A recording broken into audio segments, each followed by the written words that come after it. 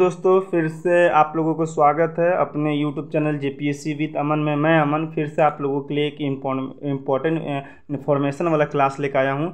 इसमें आपको बता दें, जितने भी स्टूडेंट का सेमेस्टर वन का या 2022 वाले ओल्ड वाले यूजी सेमेस्टर वन वाले 2021 स्पेशल वाले इक्कीस से चौबीस वाले, जितने का एग्ज़ाम जो रुक चुका था दो तारीख से वोटिंग के कारण, उन लोगों का फिर से रूटिंग आ चुका है। देख लो उन लोगों का कब से डेट है। देखो यहाँ से चौदह तारीख से डेट बन रहा है, ठीक है? यहाँ तो ध्यान दोगे तो समझ में आएगा। यहाँ पे देखो चौदह तारीख को है आपका I R C one physics वाले का, फिर जेनरिक इलेक्ट्रॉनिक जेनरिक देखो ये सब का डेटा सीट आ चुका है। फिर पंद्रह तारीख को है I R C one political science generic elective one है ना? देखो पोलिटिकल साइंस जेनरिक जेनरिक है ना? तो इस तरह से देखो सबका डेट आ चुका है।